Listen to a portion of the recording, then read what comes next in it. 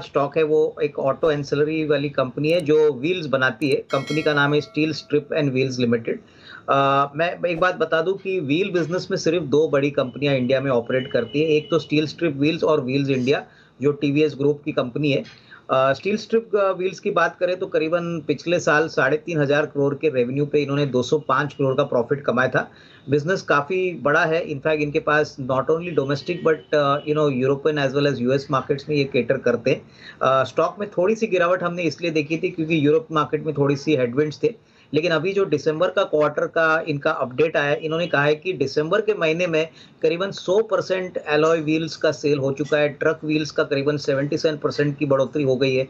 तो मुझे लग रहा है कि second half that is October to March में अच्छी खासी कमाई कंपनी करेगी, क्योंकि नॉर्मली ऑटो सेक्टर का जो कमाने वाला पीरियड अक्टूबर टू मार्च होता है हमारे हिसाब से कम से कम सवा चार सवा चार हज़ार करोड़ का रेवेन्यू और कम से कम 300 करोड़ का प्रॉफिट इस साल कंपनी कमाएगी। तो यहाँ से करीबन 195 200 का टारगेट प्राइस पॉसिबल है। तो यहाँ से एक अच्छा रिस्क रिवॉर्ड बन सकता है और करीबन commercial vehicle passenger car two wheeler ये सेक्टर जब तक अच्छी तरह से चलेंगे, तब तक व्हील की डिमांड आती रहेगी और ये डेफिनेटली कंपनी को फ़ायदा करेगा।